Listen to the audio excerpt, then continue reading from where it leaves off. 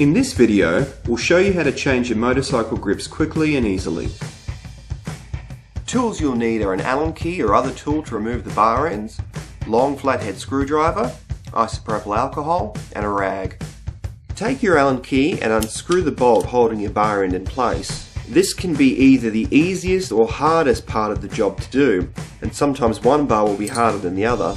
You may need to spray some WD-40 around the bolt to help loosen it. If that doesn't work, you may need to try other methods.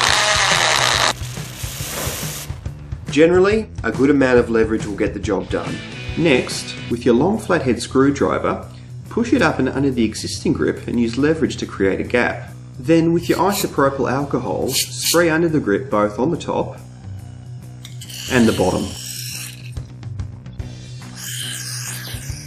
Pull and twist and the grip should come off fairly easily.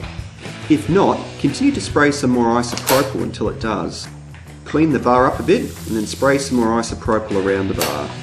You'll notice that you have two different size openings on your two new grips. The one with the larger internal diameter fits over the throttle bar. Take your replacement grip and give it a spray inside as well. Put the replacement grip on the end of the bar and pulling towards you, wriggle it on. Again, spray isopropyl if you're having difficulty.